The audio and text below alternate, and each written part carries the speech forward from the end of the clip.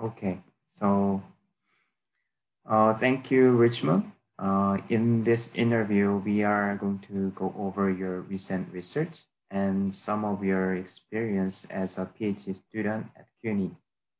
A few weeks ago, you gave us a very instructive presentation about the over-the-counter trading network. And I would like to invite you to give me a short elevator pitch of the OTC market and what are the major messages that you would like to convey with your research and why are they important?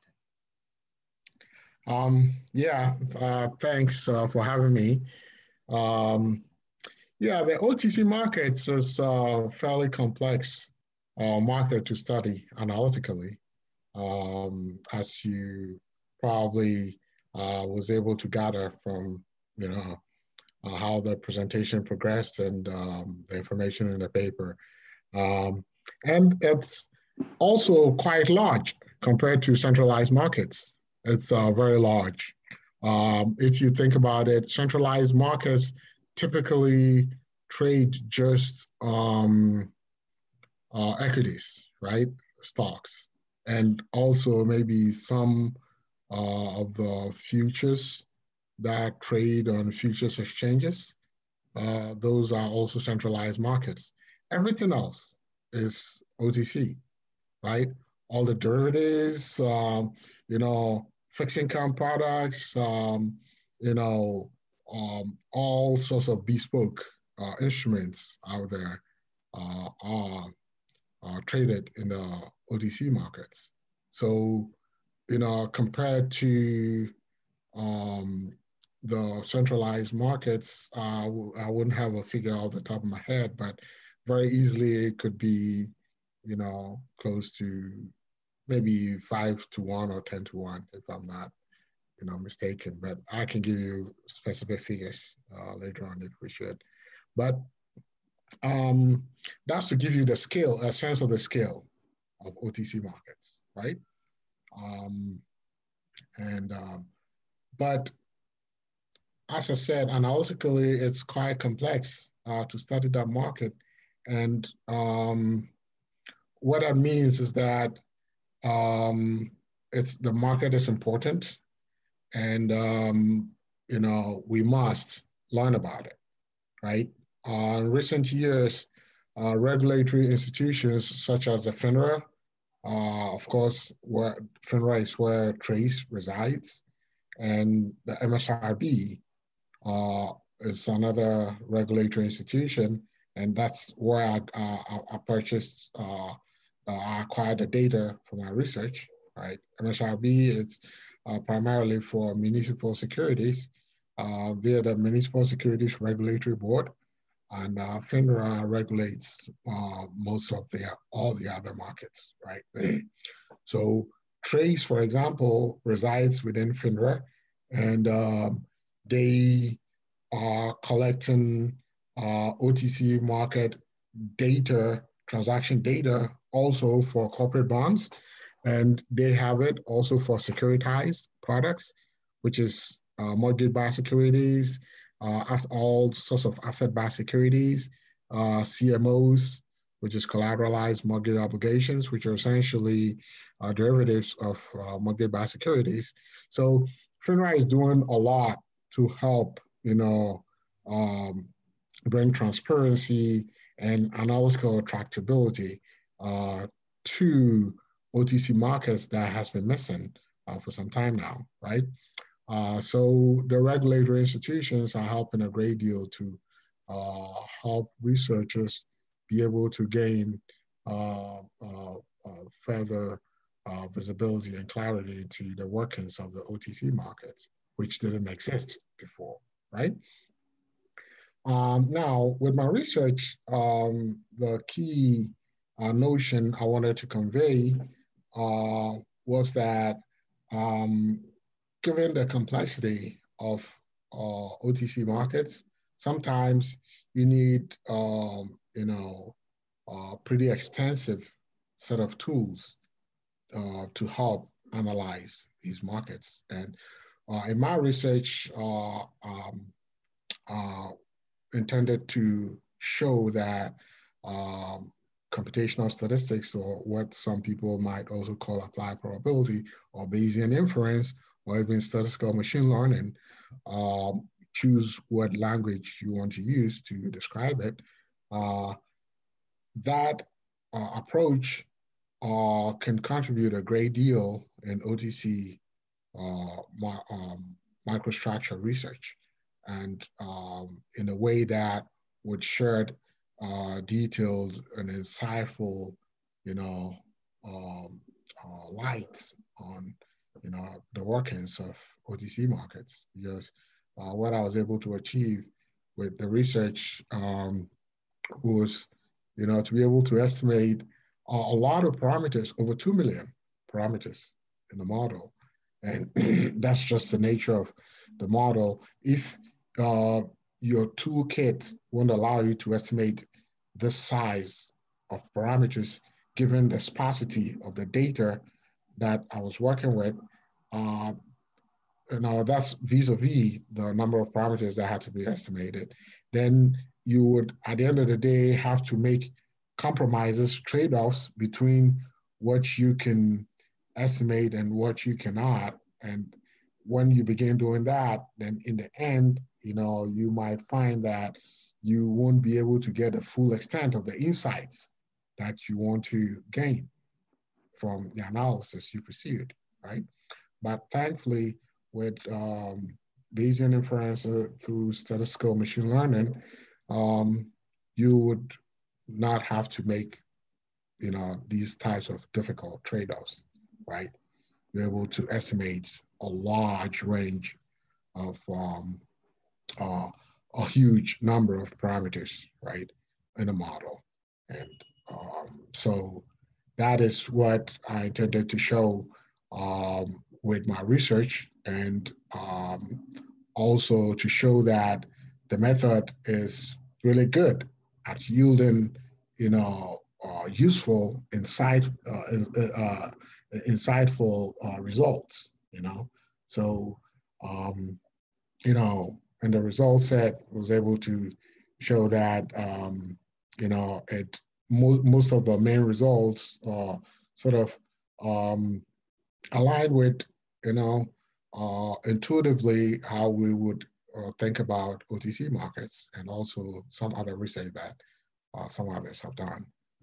And um, so in that res respect, I think it went uh, uh, um, pretty far to demonstrate that um, you know, the techniques that are deployed uh, uh, successfully achieve the goal. Oh, so since you mentioned uh, about how big OTC market is, are there many individuals uh, have access to OTC market? In the, I mean, um, the players, Yes. So, um, for example, in a data set that I used, right, um, the, the crux of the analysis was to focus on interdealer trading, right? And to, um, uh, to that end, to focus on uh, existing, pre-existing trading relationships, right?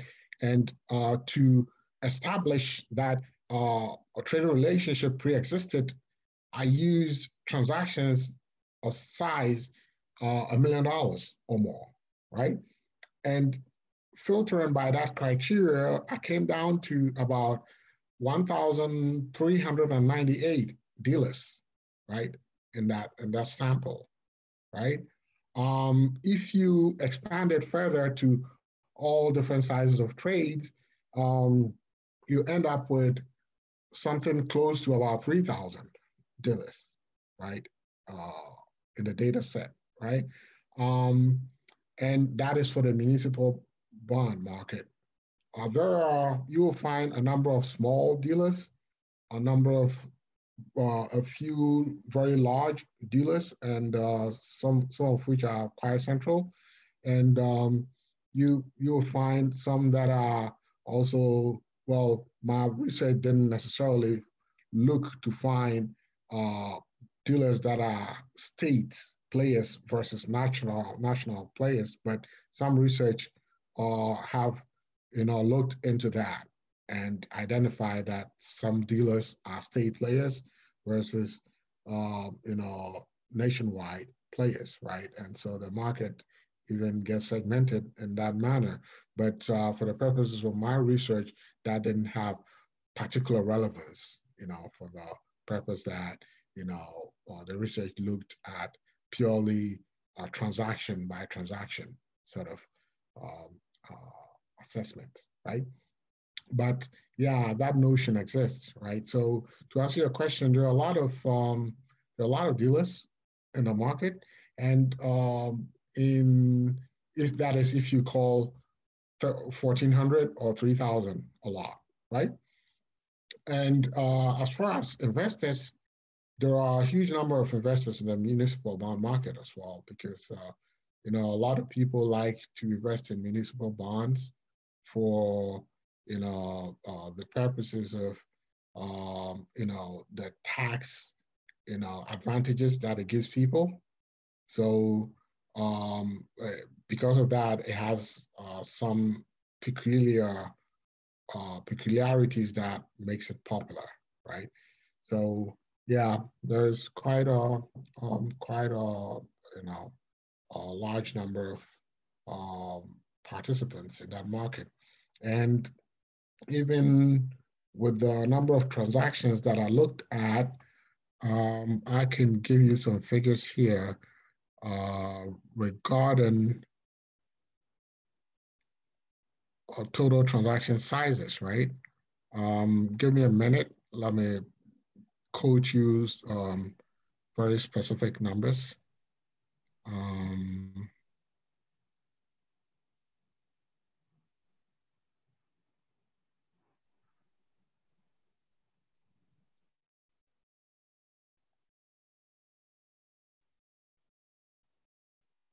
So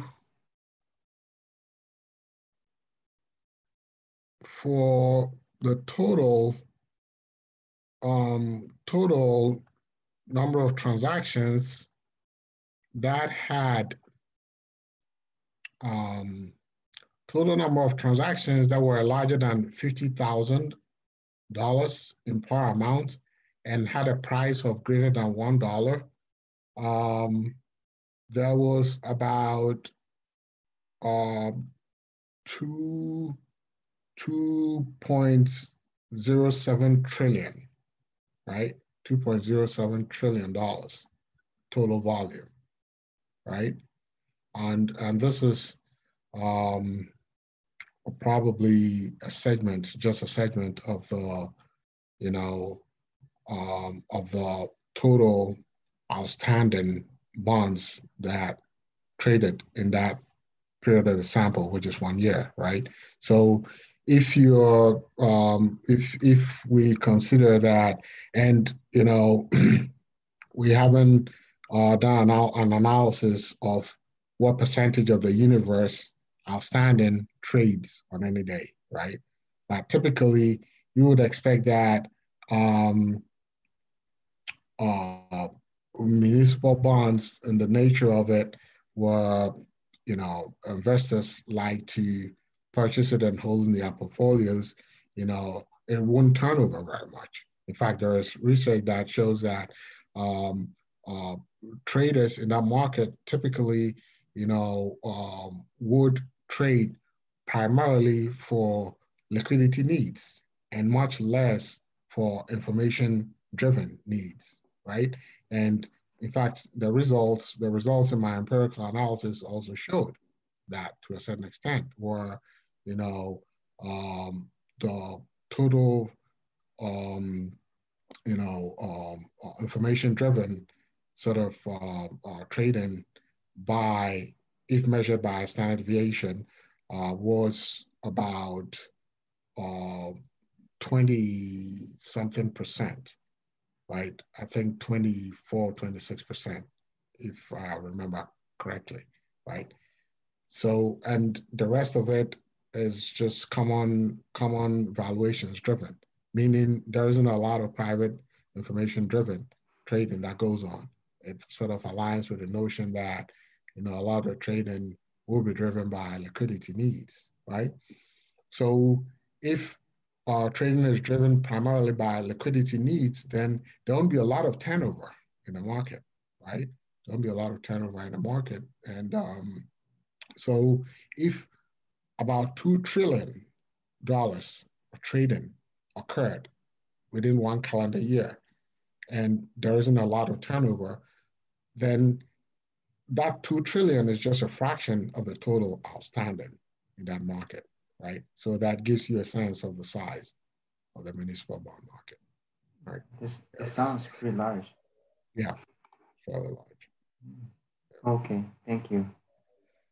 And uh, for the next question, uh, as your next step of the research, uh, what are the major issues and uh, questions in that specific field? For further research?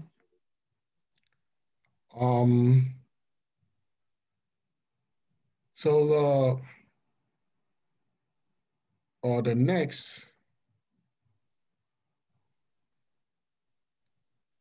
the next outstanding and most uh, in my in my view right what i think would be most interesting um, to look at would be for example um, you know, trying to incorporate some, you know, uh, dynamic behavior into the network-based models, right? Um, because currently uh, there's the random search models, right? Of course, I mentioned in the literature that there are two main approaches to analyzing uh, OTC market microstructure, right? There's the network-based approach, and then there's a random search-based approach. Right, the network-based approach essentially takes the view that um, uh, you know trading connections pre-exist, right, and they're long-lived, right. So an investor coming to the market is not coming to randomly search. He's coming specifically to certain already existing trading links, right? He counts those trading links and trades are those trading links, right? And we saw the exogenous demand, right, um, by clients is based on, you know, a link. It's a link by link based sort of concept, right? So uh, exogenous demand or customers come to the market and they go to specific uh, pre-existing links that they know, right? And these are based on relationships that exist, right? Whereas a random search approach uh, takes the view that an investor coming to market is randomly searching for a dealer or another uh, trade uh, uh, investor counterparty to sort of match his trading needs with. And then when, when he finds a match, then he can execute his trade, right? Um, we take the uh, former approach, which is the network approach. But uh, it turns out that the random search approach sort of uh, incorporates uh, dynamic behavior, you know, a lot more than, you know, the network approach does. The network approach, in fact, uh, does not incorporate any dynamic behavior as we know it now. of course, um, if you want to um, perceive the you know round by round bidding process as dynamic, yeah, that is um, um, that would be the extent to which the network approach incorporates dynamic information, right? But what would be nice to see is, you know, for example, dealers incorporating what knowledge they acquire from previous bidding rounds into subsequent building bidding rounds, right? That is missing in network-based, um, uh, especially the one that I just worked with, right? Um, and I think to be able to incorporate um, dynamic behavior of this kind, um, you're probably going to be thinking about, you know, some dynamic programming, right? Or, you know, in continuous time or discrete time, however you decide to uh, formulate it. If it's going to be a theoretical, you know, framework, most likely uh, continuous time formulation would be uh, more amenable and uh, easier to incorporate into a, a, theoretical framework, right? Um, but yeah, that's the kind of thing I suspect would have to be done to incorporate or to impart more dynamic behavior to network-based models, right? And, and to do that, I think ultimately uh, how you would judge, in my view, how you would judge to see that uh, that undertaking has been successful will be to see how this framework would take uh, a pre-trade transparency and you know uh, evolve it to the stage where the actual transaction takes place, right? Because in OTC markets, remember I, I mentioned uh, subsequent rounds of bidding, right? Rounds of bidding take place leading up to the final trade, right? And these rounds of bidding start from what we call pre-trade transparency, right? Or quotations, right? If you think about it more in terms of, you know, um, uh, a manifestation of uh, transaction, you know, artifacts, that would be um, uh, in a manner that uh, price reflects an executed transaction, right? Quotation will reflect pre-trade uh, transparency, right? I haven't seen a lot of work that has been done on that. I've seen one or two, you know, somewhere, right, that has looked at pre-trade transparency and, and, and in a manner that codes, right, help with, um, you know, uh, the pre-trade consideration. But um, so a, a good model that reflects dynamic behavior would be one that shows how, you know, the bidding goes from pre-trade, which is the quotations, and evolve all the way to the final stage where a transaction takes place, right? And how that dynamic behavior handles this evolution, right? In, within the network framework. That to me would be, you know, um, a model that adequately handles the problem, right? And um, uh, from what I see, it will not be a trivial problem at all it will not be a trivial problem, you know. But um, to me, uh, I, I think that probably will be close to the holy grail in this uh, in this area of research. But, um, so that's one that's one area. Um, another area that I think would uh, uh, be interesting for further research by anybody that's interested would be uh, figuring out how to, you know, combine the various uh, mechanisms by which information asymmetries come about in the OTC markets, right? Of course, the network approach that I looked at uh, considers information uh, information asymmetries by from the viewpoint of um, private information, right? Um, of course, other mechanisms exist that consider information asymmetry from um, you know the distribution of risk preferences, right? Others incorporate uh, the distribution of uh, initial endowments, right?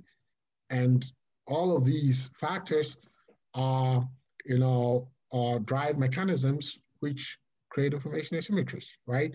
But um, how each type how much each type accounts for the information asymmetry observed in the market, we do not know, right? And I haven't seen anybody done any work on that, right? And if a, a good model that does justice to this problem would be one that has these various types, various characteristics of information asymmetry combined in the same framework so that their uh, uh, the, the various uh, uh, pieces, mechanisms talk to each other or share information or communicate in a way that, you know, their contribution, percentage contribution to the total information asymmetry in the marketplace balances out pretty much. And they can evolve together, right? So um, uh, of, again, that would also not be an easy problem, right? But um, that would also be uh, quite interesting and quite revealing on how, you know, um, you know, uh, information asymmetries drive the markets and they come about and they play in the price discovery process and, uh, you know, uh, in the long run, help with, you know, market behaviors and also how market um, liquidities and price impact and market failure and all these things result, you know, ultimately uh, when um, adverse, you know, events in the market take place, right? You know, they're all, all uh, essential characteristics of how the markets work, right? So understanding these um, sort of um, uh, very uh, fundamental components of price discovery will go a very long way to, you know, um, sort of giving us some very deep, very insightful revelations of, you know, uh, price discovery, market microstructure. Yep. Thank you. Yeah, uh, all, all of them looks very interesting. Yeah. Yeah, and so my next question is, hmm, PhD program is sometimes hard and students are sometimes struggling with introducing new ideas or other many obstacles. Like uh, it is also hard to find a balance between work, research, and studying coursework. Uh, as a senior student of Graduate Center, did you have any hardship of your PhD experience, or uh, if so, how did you overcome it? Can you share it? Um, yeah, of course. Um, had several uh, very difficult obstacles to overcome, right? Uh, particularly in my case, where I've been working full time in industry while also studying, right? Uh, at the height of my coursework, there were days when I could I would very easily go for about two days straight without sleep, right? and still have to go to work and function fine. And trust me, I managed to pull that off uh, seamlessly you know. and um, I would uh, I would um, uh, indicate that what helped me get through it, and it was very difficult. It was not easy at all. Very very difficult. Uh, what helped me get through it is um, uh, determination, right? Um, and um, I guess what gave me the uh, strong determination um, having a, a strong focus, right? Having a strong focus uh, brings about a strong determination. And um, uh, what brings the strong focus? Well, uh, having very strong interests, right? so, um, uh, how did I develop my interest in uh, studying OTC markets? Uh, it started when I was an MBA student at, at Columbia University. Um, you know, I looked at uh, trading data from the currency markets, and uh, I just could not help, you know, to uh, identify patterns that, you know, these patterns keep recurring, right? And I kept saying to myself, well, these must be driven by some very primitive explanations, right? Some very fundamental primitive explanations. This cannot just occur by chance, right? So that piqued my curiosity very intensely, right? And uh, I wanted to learn everything I could find about, you know, OTC markets. And um, so that sort of um, drove a very strong interest in me, which um, drove me to eventually enroll in the, the, PhD program to learn more about markets and uh, um, ultimately found myself, uh, you know, the natural, logical place for me to learn about uh, primitive behavior that drive price formation is price discovery, right? Um, so that's how I was drawn to research on price discovery and market microstructure, right? So um, uh, I've had, um, you know, an interest that, you know, uh, was created, generated uh, from a long time ago and uh, kind of uh, created a lot of curiosity for me to learn something and that sort of created a very strong focus and, you know, strong determination to help me overcome some of these very difficult, you know, obstacles that I had to overcome. Right. Yeah. Thank you. And this is my last question. Uh, so uh, after you graduate, do you have any career plan? Uh, you already found a position. Do you have any advice for PhD students uh, want to prepare for the job market? Um, oh, as, as uh, uh, must have mentioned uh, at the outset, my case is quite atypical, right? Um, um, so I doubt it will have a lot of relevance to most current PhD students, but I'll try all the same, right? Um, like I indicated, um, I'm already in a position in industry where I intend to continue to work after school and uh, also plan to continue to do academic work while I work in industry. And um, um, what advice I would um, give to uh, um, PhD students would be that, you know, you sort of, you know, let your interest, follow your interests pretty much, right? That's um, one sure way to develop very strong passions for what you're doing. And being passionate about what you're doing is one sure ingredient for success. I mean, it doesn't guarantee that you will definitely be successful, but if you're not successful being passionate, then you you would much less likely be successful being dispassionate, right? So that's definitely one thing I would uh, advise uh, PhD students uh, to do. So um, unfortunately, my you know a job situation would cannot serve too so much as a you know guide for you know uh, uh, PhD students, but um, definitely you know following your passion should help a great deal. Yeah. Oh, okay. Okay, thank you. So thank you uh, so much for the interview and and also thank you so much for the presentation at the seminar. Mm. Thank you. Pleasure, and uh, I wish you all the best too. All right.